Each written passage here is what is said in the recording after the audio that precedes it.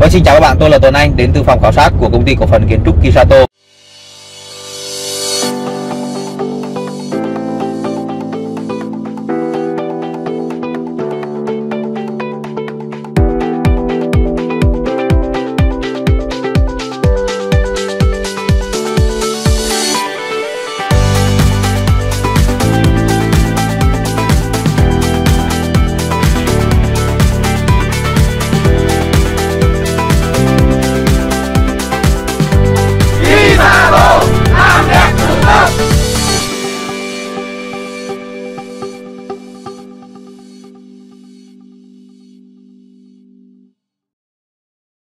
Và hôm nay hai anh em chúng tôi đang có một chuyến khảo sát về cho gia đình anh Phương tại à, Vĩnh Yên, Vĩnh Phúc để tiến hành khảo sát thiết kế cho gia đình anh một mẫu nhà lô phố theo phong cách hiện đại.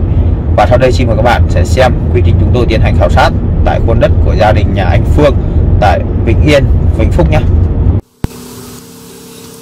Vâng, xin chào các bạn, sau đây tôi xin giới thiệu khuôn đất của gia đình nhà anh Phương tại à, Vĩnh Yên, Vĩnh Phúc. Thì con đất của gia đình anh Phương đây là một con đất nhà lô phố có chiều rộng là 6 mét mặt tiền và chiều sâu là 21 mét rưỡi.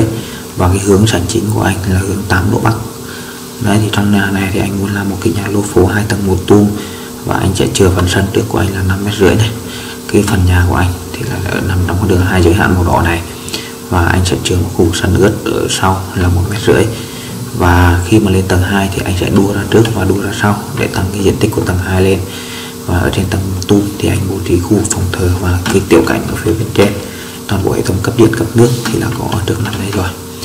Và cái bể phốt thì anh sẽ đặt ở dưới khu sân vườn này luôn. Và cái chỗ nhà chính này thì sẽ nâng cao hơn phần sân là ba bậc. Và phần sân sẽ cao hơn đường là khoảng tầm 30 phân.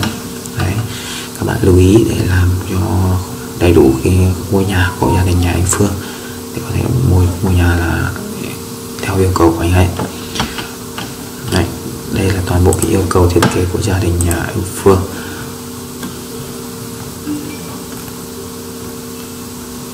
Đâu nhỉ?